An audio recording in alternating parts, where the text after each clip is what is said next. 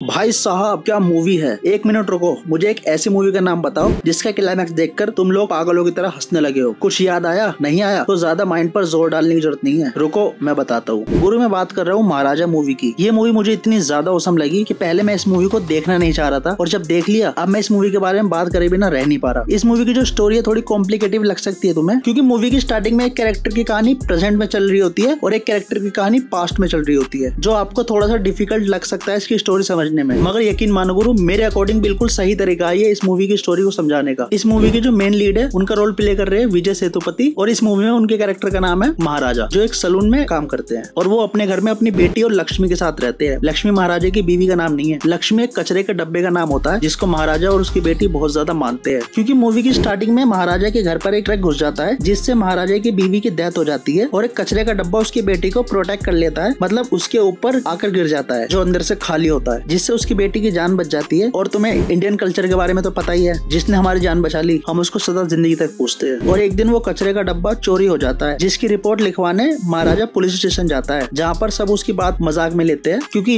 कूड़े के डब्बे की रिपोर्ट कौन लिखवाने आता है यार? जहाँ पर वो पुलिस को ये बताता भी है कि चोरी हुई कैसे, मगर पुलिस वाले उसकी बातों को सीरियसली नहीं लेते। वो रोज पुलिस स्टेशन जाता है, उसको लोग गालियाँ भी देते हैं, मारते भी है। उसको भाई थप्पड़ मार रहे हैं मतलब उसको घंटा कुछ फ़र्क नहीं पड़ रहा है। उसको बस लक्ष्मी को ढूंढना है। मगर जब इस कहानी में ट्विस्ट आने स्टार्ट होते हैं तब ये पता लगता है कि ये कहानी सिर्फ़ कचरे के डब्बे की नहीं थी। और लास्ट के 40 मिनट में ये मूवी आपका दिमाग खराब कर देगी। और वो लास्ट के 40 मिनट में इतने ज़्यादा ट्विस्ट टर्न आने वाले हैं मतलब तुम अपनी निगाहें स्क्रीन से हटा नहीं सकते बिल्कुल भी। और मूवी के एंड तक भी इसमें ट्विस्ट खत्म नहीं हुए। भाई एंड में इतना गजब ट्विस्ट निकल के आता है, मेरा तो दिमाग खराब हो गया। और ये जो पुलिस वाला लास्ट में काम करता है, ये काम तो बिल्कुल अनएक्सपेक्टेड हो जाता है। क्योंकि मूवी की स्टार्टिंग से पुलिस वाले का कैरेक्टर कुछ ऐसा दिखा है कि भाई, ये तो फ्रॉड है, लोगों के साथ धोखा करता है, पैसा से मतलब है। मगर लास्ट में आते आते भाई, ये बंदा सलूट वाले काम करता है यार। ये पुलिस वाला इतना बदल गया कि जो महाराजा को चाहिए था, वो महाराजा की झोली मिला के डाल देता है। और इस मूवी का सेकंड मेन लीड जिसको प्ले कर रहे हैं अनुराग कश्यप। और इस मूवी में जो उनका कैरेक्टर है, उसका नाम है सालविन। और ये एक इलेक्ट्रॉनिक शॉप चलाता है, सिर्फ़ नाम की, क्योंकि इनका काम तो मेन है चोरी करना। दिन में ये चलाते हैं इलेक्ट्रॉनिक शॉप और उसी इलेक्ट्रॉनिक सामान से रात को करते चोरियाँ। और चोरियों के साथ साथ मर्डर भी। अब इनकी दुश्मनी महाराजा से कैसे होती है, ये तो तुमको इस मूवी को देखने के बाद ही पता लगेगा। मगर गुरु, इस मूवी के क्लाइमैक्स के लिए तैयार हो जाओ, क्योंकि क्लाइमैक्स देखकर तुमको बहुत ज़्यादा मज़ा आने वाला है। क्योंकि तुम पूरी मूवी भूल जाओगे, वो लास्ट के चालीस मिनट नहीं बोलोगे। क्योंकि वो क्लाइमैक्स इतना ज़्यादा अच्छा है कि तुम पूरी मूवी भूल सकते हो, मगर वो लास्ट के चालीस मिनट तुम्हें हमेशा याद रहेंगे। मगर मेरा एक सवाल भी है, मैंने इस पूरी मूवी को बड़े ध्यान से देखा, मगर मुझे ये समझ नहीं आया कि ममता मोहनदास का कैरेक्टर इस मूवी में क्यों था। क्योंकि ना कोई उनका डायलॉग ना उनका रोल ज़्यादा अच्छा दिखाया, ना उनकी कोई लव स्टोरी दिखाई। तो इनका कैरेक्टर क्यों था? मुझे ममता मोहनदास का कैरेक्टर कुछ ऐसा लगा इस मूवी में, जैसा कल की two eight nine eight AD movie में दिशा पटानी का था। कब आया, कब चला गया, किसी को फ़र्क नहीं पड़ता। मतलब आप उस कैरेक्टर से कनेक्ट ही नहीं हो पा रहे हो। बाकी मूवी सच में बहुत ज़्यादा अच्छी है, जाके देख लेना। नेटफ्लिक्स पर अवेलेबल है। तो जल्दी से पहले इस वीडियो को सब्सक्राइब लाइक फॉलो कर दो यार। तो चलो, चलते हैं फिर। जिसने मेरी पुरानी वीडियो नहीं देखी, दोनों जगह के देख रही होगी, देख लेना। मिलते हैं नेक्स्ट वीडियो में। Okay, tata bye bye